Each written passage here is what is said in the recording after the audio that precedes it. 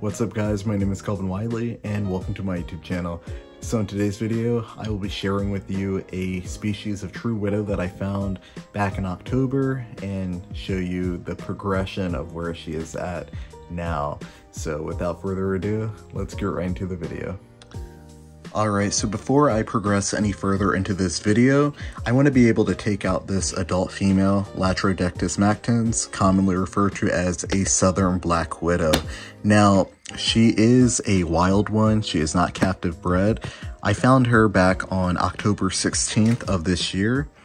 Uh, now, I have held her before, uh, but this is actually my very first time holding her as an adult female. And so let me see if I can get her to crawl into my hand. Oops. Oh, and she fell. there we go. All right, so, oh, and there she goes again. Let me see if I can um, get her to just kind of stay because she's a little rambunctious right now. So that should get her to stay still. There we go. So on my Instagram, I've made several videos on true widows and every now and then I get comments that come from people who don't follow me. Uh, they'll say things like, you know, you wouldn't dare hold a species of true widow. Now, and usually they'll say, you know, you wouldn't hold a, a wild black widow. If you're not sure why I use the term true widow, I highly recommend you go and watch the two videos that I have up on the screen. Uh, I mean, they're just thumbnails, you can't click on them, but you know, go and check them out. I explain why I use the terminology true widow. Um, but yeah, you know, I wouldn't hold a wild black widow, right? Um, so most of the true widows that I have in my collection are actually wild, although I have some captive bred, the majority are wild caught. And in particular, this one, the one that I'm holding, like I stated earlier, is one of those. So she is wild. So this girl right here, I actually found on October 16th of this year. She was still a juvenile when I first discovered her and she was in her web and using my bare hands, I go and just grab her and, you know, take her out of her web. And I was actually able to get a video of me doing that. So let me put that up on screen for you to see.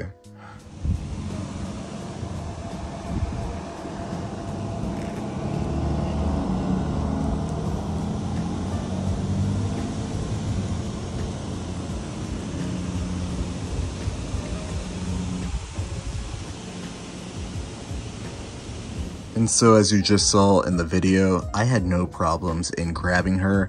She did not bite me. And so this video, I'm happy I recorded it because it really just shows the docile nature of true widows because I'm sure, as you already know, these spiders are heavily misrepresented and heavily misinformed. They are not the monsters that the media tries to paint them out to be.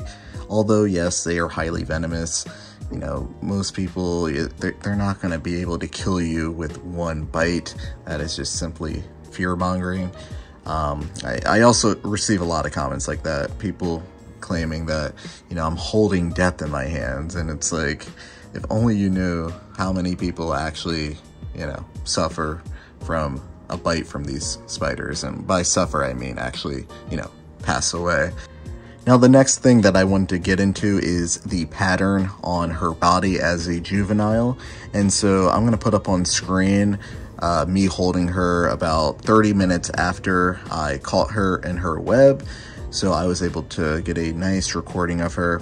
And as you can see, the pattern is extremely different than, you know, what she has now in her body. She just, you know, is pretty much plain looking and very you know, just mostly jet black with the red hourglass and kind of a red uh, dot on the back of her abdomen as an adult. But as a juvenile, they have some crazy looking markings. I think they look absolutely stunning as juveniles. So really quickly, I just wanted to share with you guys my brand new line of stickers that I have available for sale on my website. All of these are various animals that I drew on paper by hand colored them in, and then converted them into high quality, long lasting, waterproof stickers. Just to give you a quick idea of what they look like up close, here's one of my favorite drawings that I drew of a European hornet. All of these drawings were achieved by using these markers to color them in.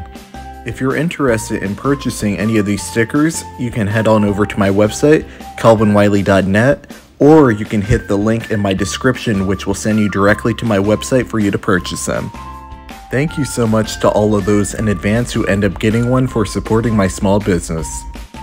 And now, back to the video. Now, what's cool about Species of True Widows is that it can be kind of confusing sometimes on knowing the exact species because as juveniles, both the males and the females will show some extremely unique patterns on their bodies. And when they become adults, then they kind of lose those patterns, you know, their juvenile patterns. And so it can be hard to, you know, know which species is which because you have to kind of know the patterns on a particular species juvenile form and then know the patterns or you know the look of their adult form as well and not only that you have to factor into uh, usually the males and females are sexually dimorphic, meaning that they display different characteristic traits. And in this case, well, I mean, the main easy one is body size. The females are obviously larger than the males, but even the patterns on juvenile males and juvenile females, they are actually different.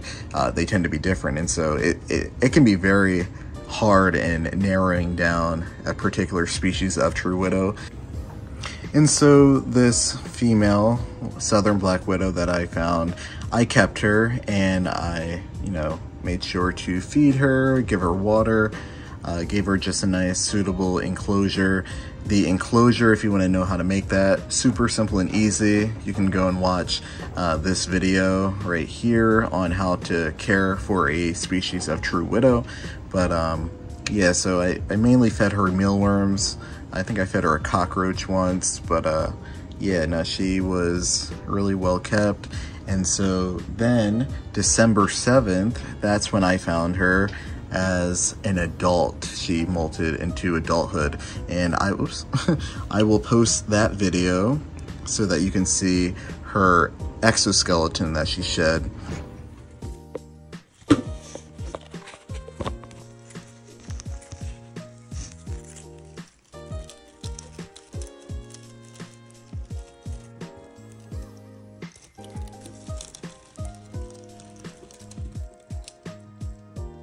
Now, if you saw in the video that I just put up, you would have noticed the red dots on her abdomen, that red patterns. And so what's interesting is that usually when a species of true widow matures into an adult, it has some coloring that kind of stays and lingers for a very uh, for a few days and then it will fade away and so this right now is, you know, ultimately her final look.